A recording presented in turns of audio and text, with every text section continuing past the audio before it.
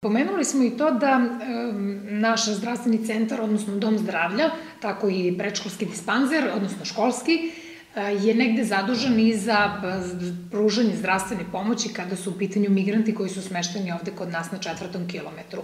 E, s obzirom da gore nema lekara koji će konstantno biti sa njima, oni dolaze ovde.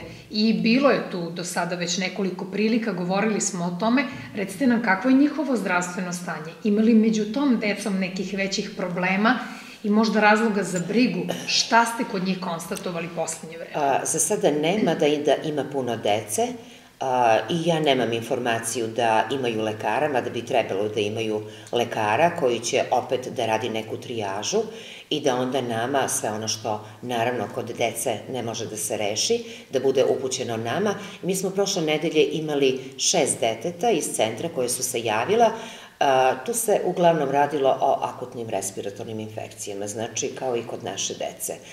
Dva deteta su imala proliv i povraćanje, jedno od te dece je upućeno i na dečije odeljenje, znači apsolutno nemamo ništa značajno, ništa posebno, mada mi smo oprezni, tako da smo pojačali i neke epidemiološke mere, imamo obavezu da radimo taj nadzor, da izveštavamo nedeljno e, Zavod za javne zdravlje o e, bolesnim stanjima koja utvrdimo kod ove dece, tako da, eto, i to funkcioniše onako, znači i tim e, pacijentima se pruža zdravstvena usluga onako kako i svoj ostaloj deci, apsolutno nema nikakve razlike.